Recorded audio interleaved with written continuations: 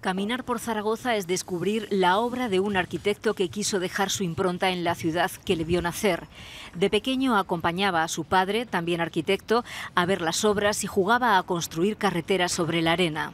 Uno nace entre ladrillos, mi abuelo, mi padre, mis hermanos, es decir, todos han estado trabajando en esas cuestiones y alguien que le gusta el mundo de la creación o que cree que, debe, tiene ganas de construir o de crear, pues al final toma una decisión como esa, pero no por impuesta, sino porque no se le ocurre que puede tomar otra, ¿no?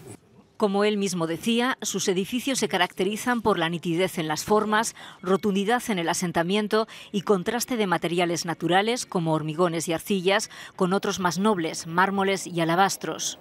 Erudito y estudioso incansable de su ciudad, José Manuel Pérez Latorre diseñó el Museo del Foro en los 80, el edificio de la CAI en el Paseo Isabel la Católica y el Pabellón de Aragón en la Expo del 92, un edificio especialmente complejo por ser desmontable. Consiguió proteger la cimentación de la Plaza del Aseo frente a la humedad del Ebro y restauró el teatro principal. Con su estructura de hormigón armado y una calidad acústica excepcional, en 1994, la torre levantó el que se convertiría en seña de identidad de la cultura en la capital aragonesa, el auditorio. Años más tarde, asombraría con el diseño del Museo Pablo Serrano ya convertido en un icono de la ciudad, símbolo del arte moderno y actual. José Manuel Pérez Latorro llevó su pasión por la arquitectura más allá de la capital aragonesa.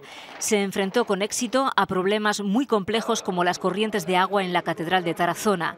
Entre montañas, restauró la Estación Internacional de Canfranc y también en el Pirineo una de las iglesias más importantes de nuestra historia, Santa Cruz de las Herós, mil años después de que la mandara levantar el primer rey de Aragón, Ramiro I.